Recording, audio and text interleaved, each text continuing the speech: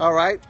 See, well, I think This is Murray. I'm going to put the camera on him. Oh, really? Jesus. So there you go. Good, I'm going to hold this while I walk. we walk. Let's see if we pick you pick up the sound. right.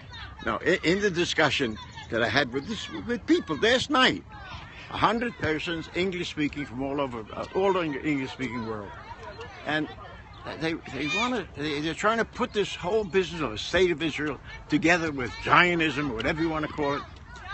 And I explained to them after the war that these survivors they had no place to go. Nobody wants to bring them. Nobody wants them to come into the country. So where did the survivors come from? They came because they were left over from those that were murdered. Now, how? Where did Israel get Palestine get into this whole subject? Well, World War II was a very serious war, and the British mobilized troops from every one of their colonies around the world. There was an Australian division, and there was a Palestine division. Now, to do the Palestine division, they had to, okay, join, join the army, join whatever. The Jews. Uh, Everybody. Everybody. No, they asked everybody to join. Every person who was in Palestine. And what happened is that tens, thousands of Jews joined. The Muslims didn't join. But the Mufti of Jerusalem ran away from Jerusalem because of what he was doing. He wasn't a very pro uh, British man. He ran to, ran to Europe and he went to visit with a guy named Visla and another guy called Hitler. And they discussed what to do.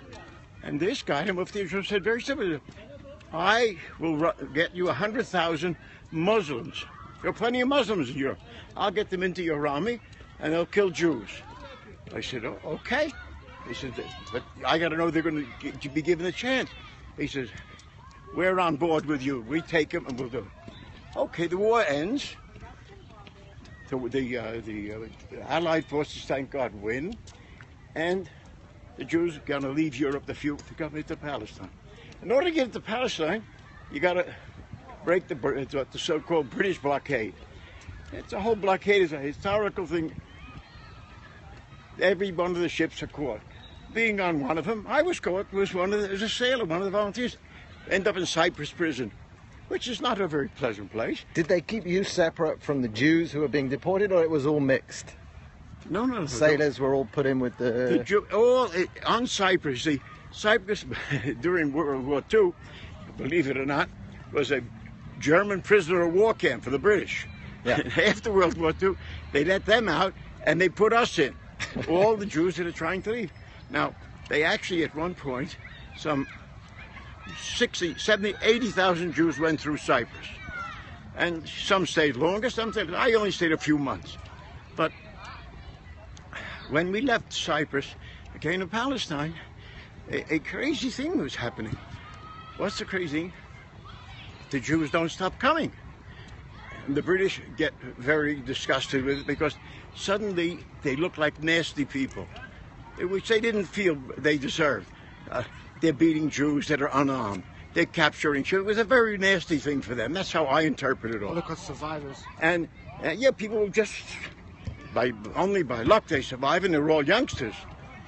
So finally, they give up and discuss the British, and they say, "Okay, throw it to the UN," because they knew the UN was not exactly a friendly place for for for, uh, for the Jews, and they were sure they're going to win the vote that they should take back the whole uh, mandate, the British, and keep it and do what they want.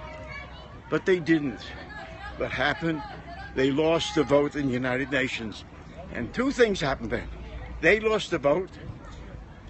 The Muslims attacked the Jewish state the next day. Yeah. And that was the beginning of the end because the Jews kicked the shit out of the British, out, out of the sorry, out of the Arabs, Uh, and and and that was it. It was a tough war. It was a war for Ten percent. self-defense. Ten percent of the Jewish population died. That's a, a war, a, self-defense, nothing else. Without No, all and, kinds and nowhere else to go. It's not No- like no place to go, No place to go. No place to run. And and, And- defense. and, and, and they didn't want to let us get Last weapons. line of defense. Sure. And who came? It wasn't though the, only the Palestinian so-called Arabs that came, uh, but was from all over. Jordan, all over Jordan, the area. Iraq, Syria. Iraq, every one of them, they all Egypt. contributed. But the interesting thing that happens with all of this is that these people who came to fight, they lost and couldn't accept it. Just couldn't accept it. They just were not ready to. They thought, look at this, how many Jews are there here?